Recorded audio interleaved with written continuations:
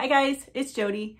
Today's video, I want to do a floating bloom. I'm back up here in my studio doing those floating blooms now. And I've got a couple of different ideas. I'm trying to find, still find the best camera angle. So I'm going to be experimenting a little in this video. So, but uh, I've got some, I got a, an interesting color palette. I'm just trying to use up some colors. So we're going to have some fun with that today. So let's go get started. Okay. We are going to go over the colors, the cell activator, the pillow, and then we'll get started painting. So, and I've got kind of a mishmash of colors here. I like to do that sometimes, especially when I'm using up colors that have been sitting around for a while. I like to see what will happen. You never know. Sometimes it doesn't turn out, but other times you get a nice surprise. So we're going to do that today. I've got uh, Golden Fluid Iridescent Bright Gold, one of my most favorite golds. It looks like in the container. And and these are all mixed up with my Valspar Varathane Pouring Medium mix. And if you want to see what that is, the pictures for all the containers will be at the end of the video and detailed description of everything used. So the description box below the video. This one's getting a little bit thick on me, but still fluid enough. We're going to roll with it. So there is that one. And then I've got my Jo Sonja Black Umber been using this a lot lately. There's that one. And then I've got the Pourage Posse's Antique Copper Metallic. That's what it looks like in the container. This is one of my one of my favorites. I just love the the shimmer on that. So pretty. There's that one. Now, when I show you the consistencies, uh, you know, it's just so you have an idea. It doesn't need to be exact. It could be a little bit, you know, thinner or even a slightly thicker as long as they're, you know, relatively the same and they're thinner than your pillow, but yet thicker than your cell activator. That's always what we want to go for here. You know, it doesn't have to be exact, exact where this is, as I always say, this is painting, not baking. All right, my next color is I've got the Golden Heavy Body. This is Interference Gold. And this is what it looks like. Again, these are all Valspar Varathane Pouring Medium Mix. You can see kind of the shimmer there. This, again, if you're not uh, familiar with interference colors, they, you know, they kind of have a white cast, but you can see that, that gold color shift or that gold kind of sparkle in there. When it dries, it doesn't dry white, it dries with kind of a gold cast and you can see it uh, easier on darker colors. It's a little bit more secretive on lighter colors. Then my next color is I've got Arteza's Bordeaux Red. It's that one. This one I think has been mixed up for a while. I used it for something else and forgot I had it. There's that consistency. And then finally, I've got Golden Fluids Teal. That's kind of what that looks like there. And this is what we have mixed up again. This is this has been sitting around a while, so it kind of did get thick on me. It's cooler in here finally. So those are all the colors we're going to use. And my cell activators, I've got two cell activators. They are both mixed with Australian Floetrol at 4 to 1, 4 parts Australian Floetrol, 1 part paint. The 1 part paint for this black, I'm actually using Amsterdam Oxide Black today. I know. I'm I'm always using the Atelier, but sometimes that can be too thick when it's uh, when it's cooler in my studio. Amsterdam tends to thick to Amsterdam tends to mix up a little bit thinner. And so if you can see the consistency, it's, well, to me, it's thinner, thinner than my Atelier. So we're going with the Amsterdam today. And I notice a lot of Amsterdam paints mix up thicker uh, than the Atelier when I'm using those for either with my pouring medium or my cell activator. So, you know, it's just different brands, different lines. And this is my usual gold. If you've seen my, my other videos, you'll know I like to mix up two golds to make up the one part paint. You don't have to, it's just personal preference, but uh, I use the Atelier Interactive Pale Gold mixed with Pebeo Studio Acrylics Precious Gold to get this gold here. So again, these are the two cell activators we're going to use today. And then my pillow. My pillow is my normal pillow, the PPG Multi Pro. This is usually on the thicker side than you, if you've watched my other videos, I, I will switch between the PPG Multi Pro and the Glidden Premium in satin. Sometimes this, especially when it gets cooler, it gets too thick for me to use and then I switch over to the satin. It's slightly thinner. So that's another reason why I have two. And sometimes I just use both. I want a thinner one even in the summertime, but this is getting back to its normal thickness for me. It was a lot thinner uh, in the summertime. So we're going to go with the PPG Multi Pro today. So now we're going to head over to the canvas and I'm going to explain what we're going to do today. All right, for this piece, I've got a 16 inch square canvas gallery wrapped and I've got it taped up on the back here. What we're gonna do is we're gonna do a floating bloom. I know we're kind of in a different area here. Normally I start on the bench or, well, yeah, actually normally I start on the bench, but I wanted to try something different since I'm back up in my studio doing these. I wanted to do the initial background swipes in uh, in the spinner box here and then we'll bring it over to the bench just to see. I'm trying something a little bit different here, so bear with me. So I'm gonna get this canvas flooded and we'll get started painting. All right, I've got this all flooded. We are gonna use this to put the initial background swipes on. So I'm gonna get this loaded up. We're gonna use the gold cell activator. So I'm gonna get this loaded up and I'll show you.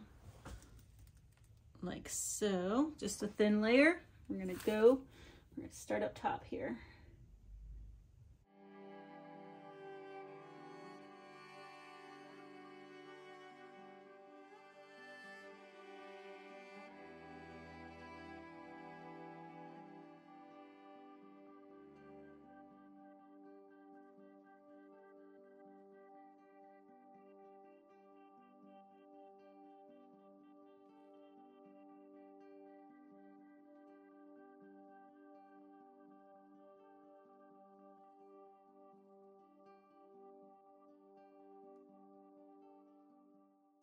All right, I am digging how that is coming in. I actually did not dig into the canvas this time, but I did have a couple of bare spots. And if, if you find that you've kind of swiped too much white, you can always go back in with a smaller one and just kind of add as you saw me do. So now we're gonna head on over back to the bench and we're gonna put our bloom colors in here and blow that out. I'm gonna start with the gold in the middle here. We're gonna have a lot of gold in this piece. I want lots of nice subtle shimmers. I don't need too much though, because we've got a lot of paint we're going to be putting on with this bloom. I've got the black umber.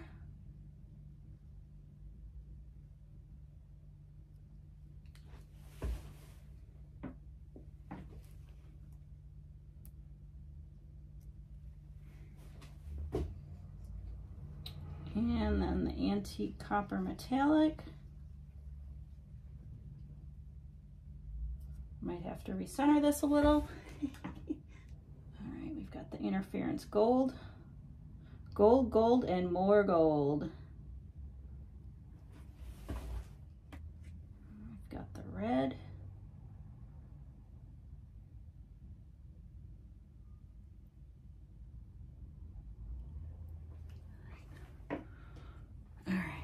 Last but certainly certainly not least the teal.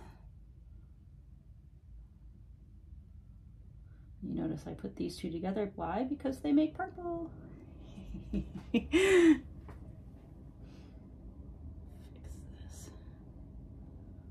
There.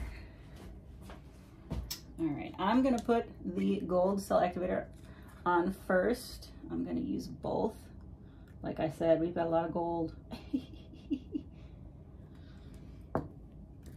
I want this baby to shimmer and then we're gonna put the black cell activator on. That should be plenty. I hope I didn't put too much on, but here we go. I'm gonna blow this out carefully.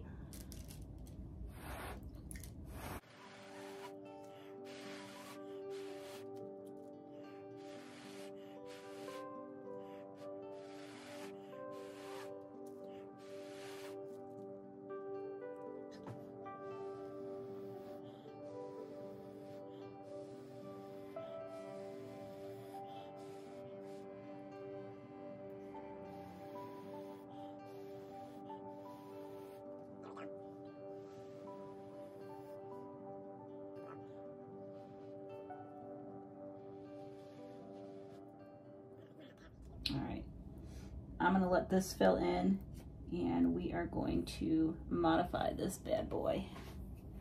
So the one thing you have to remember when you move it back over from the bench to the spinner box is to turn your camera on before you modify.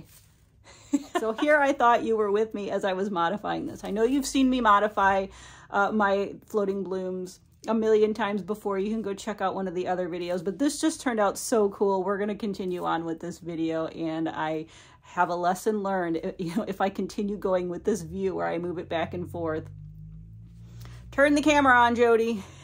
so at any rate, let me show you what this looks like up close before we spin it out. I mean, it just turned out really cool and it came, those cells came in really nicely. So now we're going to spin this out and I feel so bad that you didn't get to see me modify it, but we're just gonna we're gonna motor on and we're gonna persevere. So let's this is all I think this is nice and centered. Let's start spinning.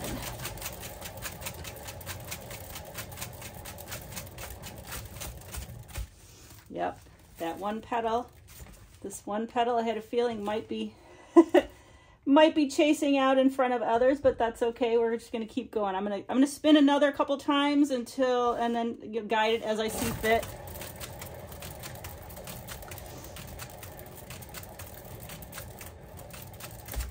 Mm, it's going to open up nicely. I can feel it. Hooey. Okay, you know what? One more spin.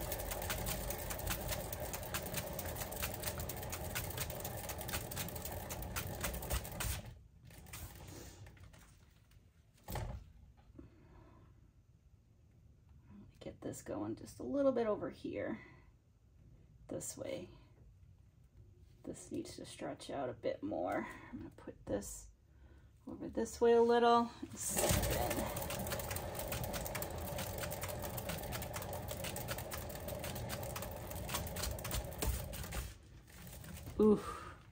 Yes, yes. I still want more out of you. I've still got to get these down here stretched out just a little bit more.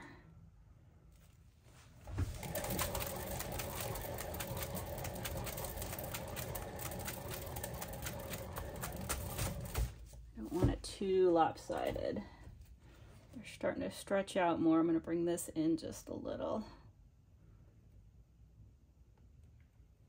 Still got a little bit more spinning to do.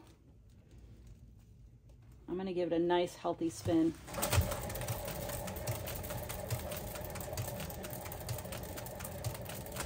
This way. Nice healthy spin this way.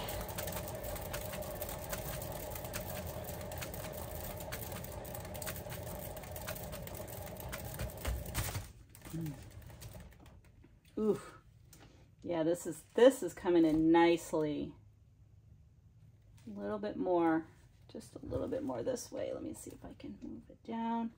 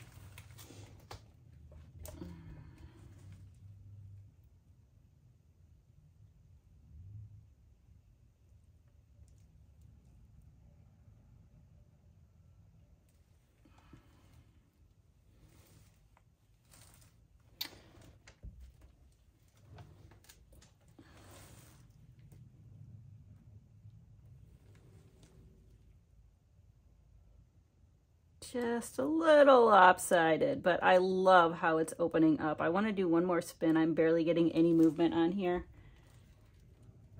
Uh, I don't want to overspin, but I want one more. One more good spin, and I think we're there.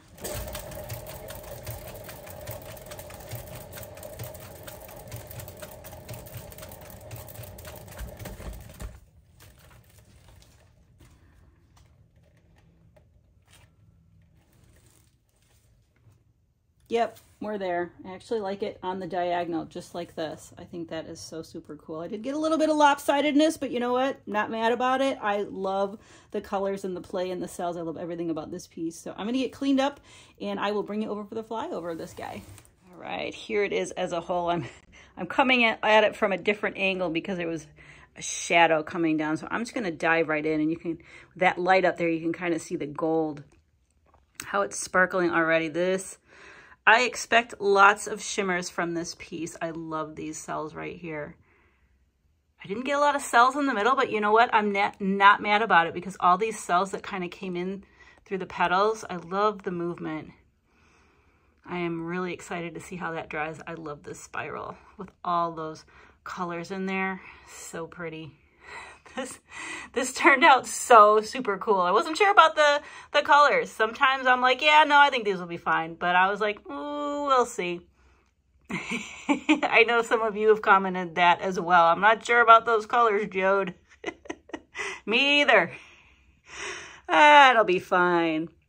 But that's half the fun. So, but this turned out so super cool. We did get a little bit of a lopsided angle here but I'm not mad about it. I, I actually really like it on the diagonal, but I am so excited to see how this dries. So I'll be back once it's dried to show you the dried results. All right, here's this piece all dry. I do have it on the diagonal because that is my favorite orientation, but we'll check out uh, a few more uh, in a few minutes. I kind of wanted to just dive in and show you some of the details uh, up close before we looked at the shimmers and all that good stuff. So so here it is. I love the pattern of the background and just all these different interesting cells in here. I love that I didn't get a lot in the center. Usually, sometimes I'll get bubblicious cells. It depends. A lot of it depends on how you're blowing and the thickness of your paints. And my paints have been a bit thick, so the middle has been a struggle. It's always something. It's either too thin, too thick. I still struggle with it myself, but I love those. Those are so cool. Ugh, in the background, it's just so pretty.